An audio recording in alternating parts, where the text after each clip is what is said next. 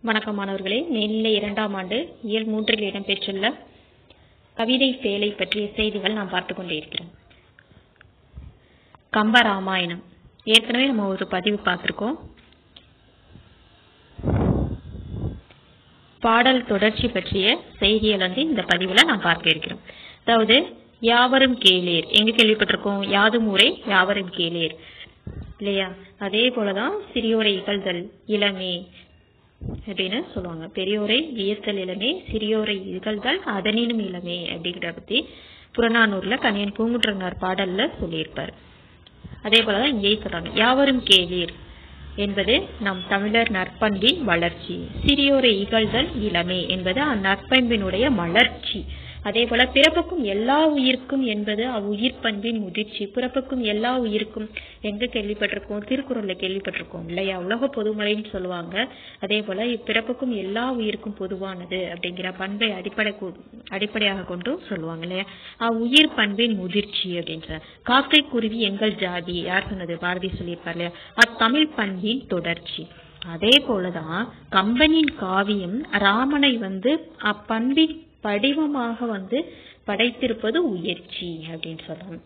இந்த அனைத்து பண்பினுடைய படிவமாக படைத்திருப்பது உயர்ச்சி.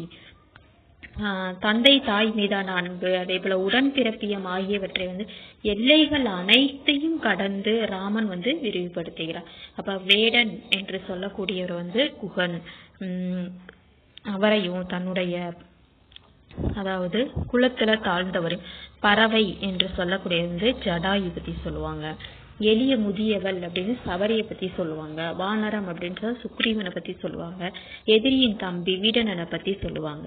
அப்ப வேடனாக இருக்கக்கூடிய தன்னுடைய குலத்துல தாழ்ந்த குலத்தை உடையவராக இருந்தாலும் தன்னுடைய உடன்பிறப்பாக ஏற்றுக்கொண்டவர். பறவை ஜடாயு வந்து தன்னுடைய தந்தையாக ஏற்றுக்கொண்டவர். அதே போல எளிய முதியவள் வந்து தன்னுடைய தாயாக ஏற்றுக்கொண்டவர். வானரம் தலைவன் சுக்ரீவன் வந்து தன்னுடைய உடன்பிறப்பாகவும் நண்பனாகவும் ஏற்றுக்கொண்டார். அதே போல எதிரியின் தம்பி வந்து வீடனன் சொல்லக்கூடியவரை என்ன செய்யறார் தன்னுடைய உடன்பிறப்பாக ஏற்று நடந்தவர். இதான் வந்து அதாவது பண்பின் படி படிமமாக அந்த ராமரை வந்து இந்த கதாபாத்திரத்துக்கு கொண்டு வந்திருக்காரு கம்பன் அப்படிங்கிறத பத்தி சொல்லுவான்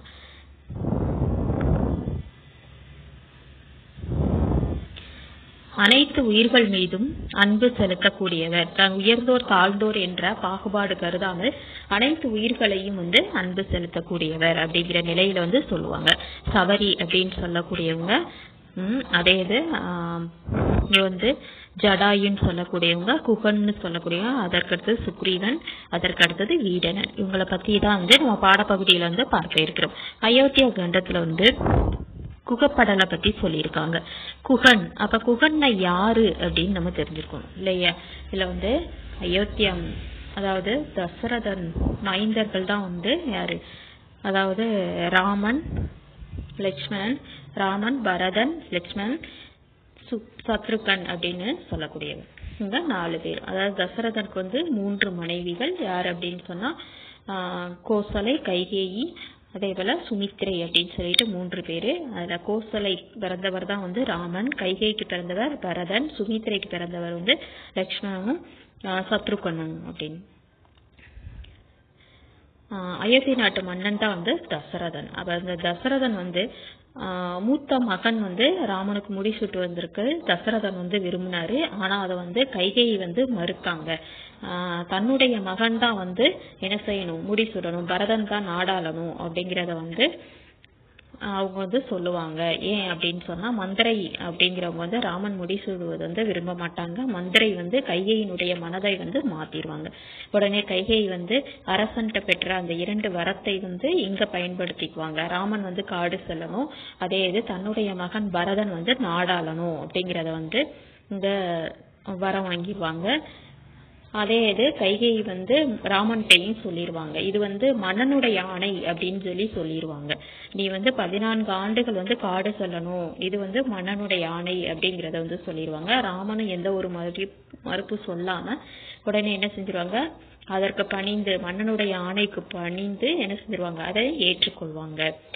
அப்ப இந்த மாதிரி கரை வந்து அந்த காட்டுப்பகுதிக்கு செல்வதற்காக கங்கை கரையை கடப்பதற்காக என்ன செய்வாங்க? அங்க கங்கை கரை வந்து நிற்பாங்க. அந்த நிலையில தான் வந்து குகனை வந்து பார்ப்பாங்க.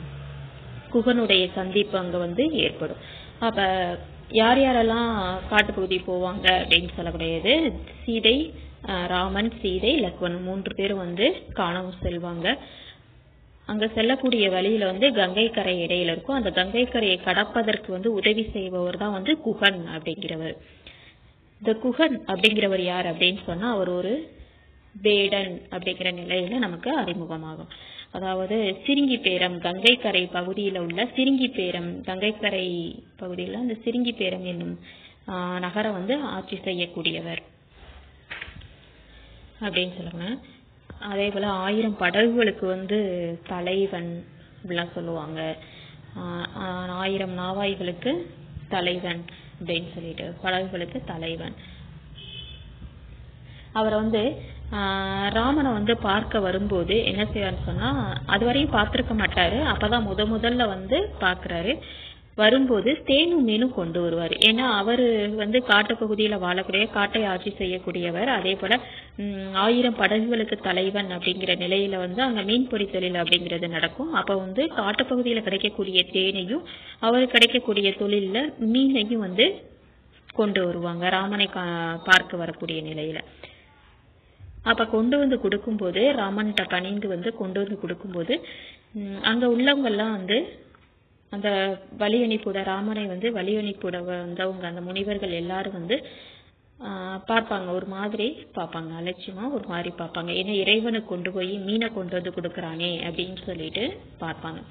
அப்ப ராமன் வந்து அவங்களுடைய முக குறி முகத்தினுடைய பாவனையை வச்சு குறிப்பால உணர்த்து கொள்வாரு. அவங்க வந்து வித்தியாசமா பாக்குறாங்க அருவருப்பா பாக்குறாங்க அப்படிங்கறத வந்து இவர் வந்து உணர்த்துருவாரு. உடனே வந்து அவர் பதிலும் சொல்லிடுவாரு உம் அன்பின் மிகுதியால கொண்டு வரப்பட்ட அந்த பொருள் வந்து எனக்கு அமுதம் போன்றது அப்படிங்கிறதையும் சொல்லுவார். கிடைத்தற்கரிய அமுதம் போன்றது அப்படிங்கிறதையும் வந்து அவர் சொல்லுவார்.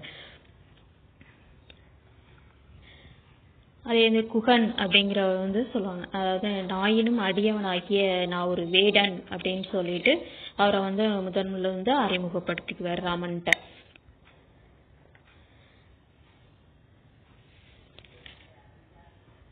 அதே இந்த கங்கை கரையை கடப்பதற்கு வந்து என்ன செய்யலாம் உதவி செய்வாரு. உதவி செஞ்சுட்டு அடுத்தது வந்து அவங்களோட வந்து நான் பயணிக்கணும். அந்த கங்கை கரையை கடை விட்டுட்டு ராமன் வந்து காட்டுப்பகுதியில வந்து வாழ்வதற்கு வந்து கடினமான காரியம். அதனால வந்து ராமனுக்கு உதவியாக நான் இருக்கணும். இருந்து இந்த பணிவிடைகளை வந்து செய்யணும். ஏன் காட்டுப்பகுதியில வாழ நான் பணிவிடை செய்யணும் அப்படின்னு சொல்றான்னா அந்த காட்டுப்பகுதியில உள்ள அனைத்து திசைகளையும் அவன் அறிவான் எங்கெங்க எந்தெந்த பொருட்கள் கிடைக்கும் அப்படிங்கிறதையும் அவன் அறிவான் எல்லா பகுதிகளையும் எங்கெங்க பாதைகள் இருக்கு அப்படிங்கிறதையும் அவன் அறிவான் எங்கெங்க மிருகங்கள் அதிகமா இருக்கு அப்படிங்கிறதையும் அவன் அறிவான் அதனால ராமனுக்கு பாதுகாவலா இருக்கணும் அப்படிங்கிறத வந்து அவன் வந்து வேண்டி கேட்டுக்கொள்வான் ஆனா வந்து ராமன் வந்து அதற்கு ஆஹ் இசைவு கொடுக்க மாட்டாரு. என்ன அப்படின்னு சொன்னா இப்போ வந்து நாங்கள் வேறு வேறு திசைகளுக்கு செல்லக்கூடிய நிலை ஏற்படும். அப்போ வந்து நாங்கள் வந்து தனியாக இருக்கக்கூடிய நிலை ஏற்படும். அதனால் நீ வந்து பிரிவு உன்னுடைய பகுதியை வந்து ஆட்சி செய்ய நீ போகணும். உன்னுடைய மக்களை வந்து காக்க நீ செல்லணும். அதனால நீ என்ன செஞ்சுக்கோ? நீ வந்து எங்க கங்கை கரையை கடக்க மட்டும் உதவி செய்யி அப்படின்னு சொல்லிட்டு சொல்லுவார் அப்ப துன்பம் அப்படிங்கிறது ஒன்று இருந்தால்தான் வந்து இன்பம் அப்படிங்கிறது கிட்டும் அப்படிங்கிறதையும் வந்து சொல்லுவாங்க.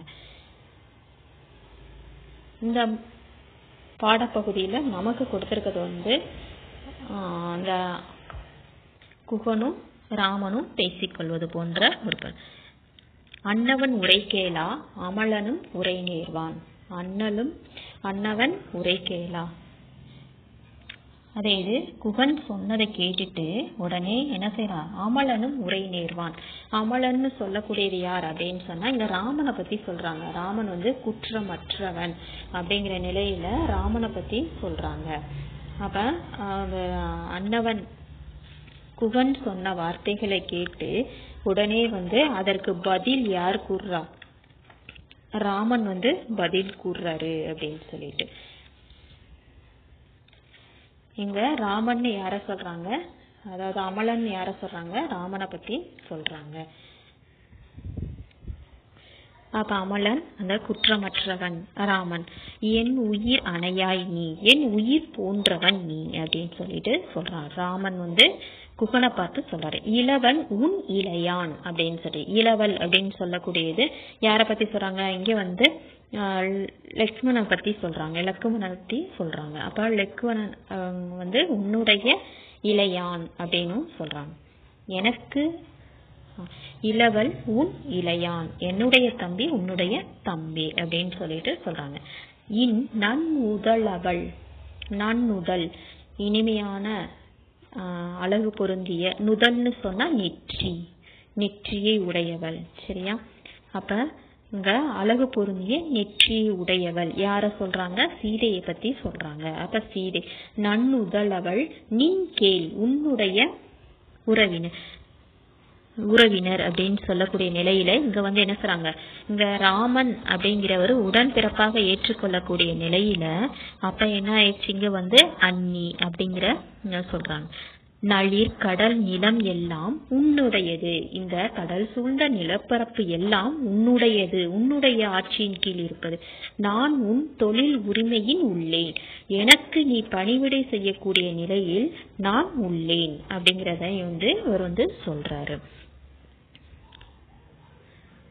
குகனை பத்தி இங்க சொல்லுங்க வேடுவர் தலைவன் குகன்.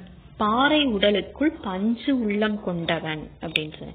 காட்டிற்கு செல்லும் ராமன் கங்கையை கடக்க அவன் உதவுகிறான். அன்பிற்கு அடைக்கும் தாள் இல்லை என்பதை நிறுவும் வகையில வந்து ராமன் குகன் நட்பு வந்து முகிழ்கிறது அப்ப ராமன் இளவரசனாக இருப்பினும் வந்து வேடனான குகனை வந்து என்ன செய்றாங்க? தன்னுடைய உரு உடன்பிறப்பாக ஏற்றுக்கொள்கிறான். பின்னாளில் அவனை சந்திக்கும் பரதன் கூட எனக்கு மூத்தோன் என வந்து குகனை ஏற்கிறான். அஹ் பின்னால சந்திக்க பரதன் சந்திக்கக்கூடிய நிலை ஏற்படும். அப்ப கூட பரதன் கூட என்ன செய்றான், எனக்கு மூத்தோன் என்னுடைய அண்ணன் போன்றவன் அப்படிங்கிறத வந்து பரதன் கூட ஏற்றுக்கொள்வான் அப்படிங்கிறதையும் வந்து சொல்லுங்க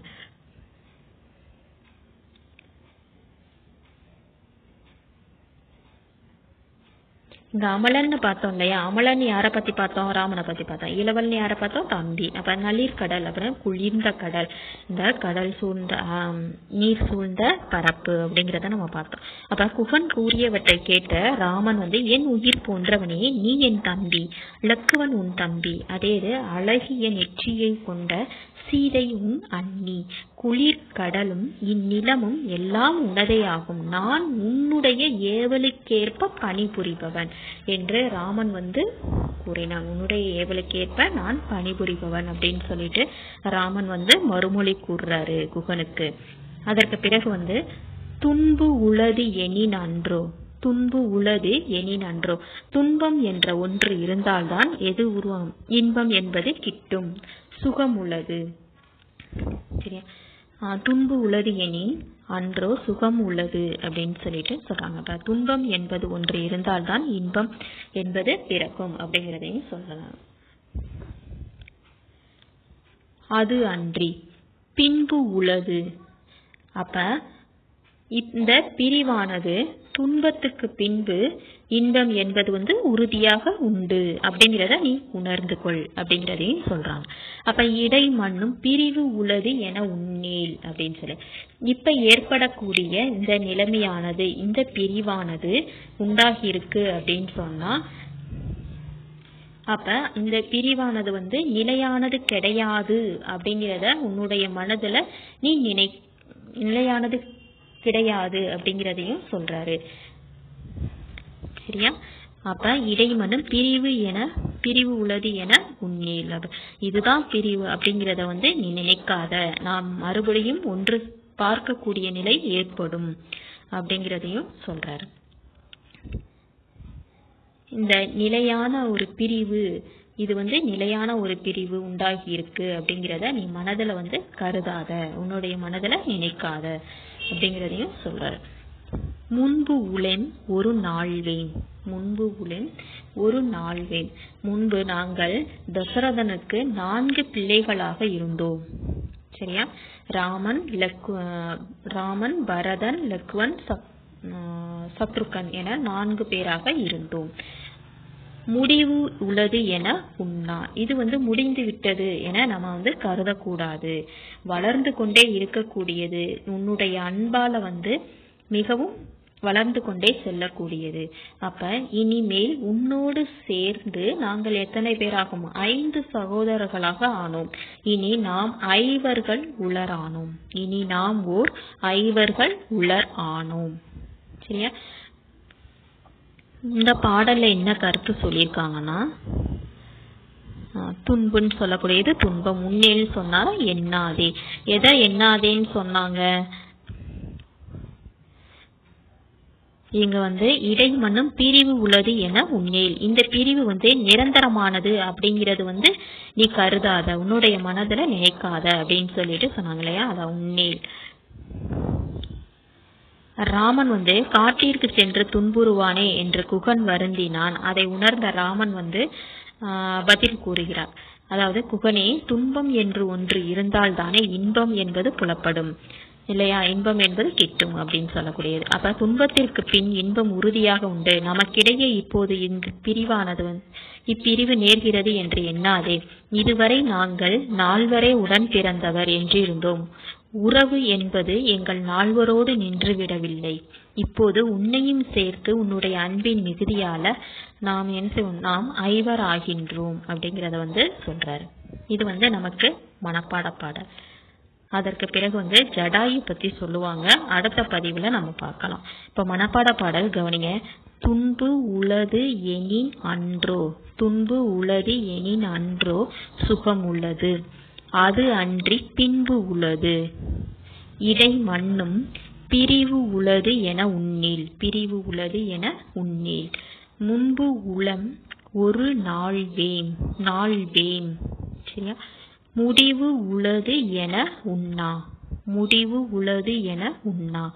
அன்பு உள இனி நாம் ஓர் ஐவர்கள் உலர் ஆனோம். ஐவர்கள் உலர் ஆனோம்.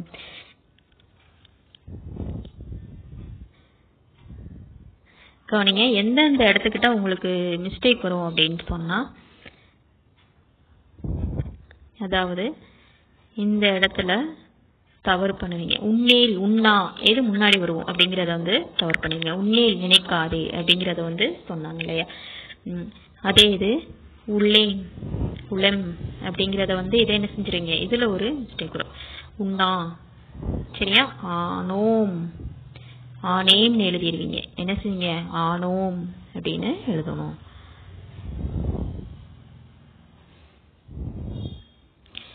மறுபடியும் ஒரு தடவை பாருங்க. துன்பு உள்ளது இனி நன்றோ சுகம் உள்ளது அது அன்றி பின்பு உள்ளது இடை மண்ணும் பிரிவு உள்ளது என உன்னேல் முன்பு முன்பு உளம் ஒரு நாள்வே முடிவு உள்ளது என உண்ணா. அன்பு உள்ள இனி நாம் ஓர் ஐவர்கள் உலர் ஆனோம்.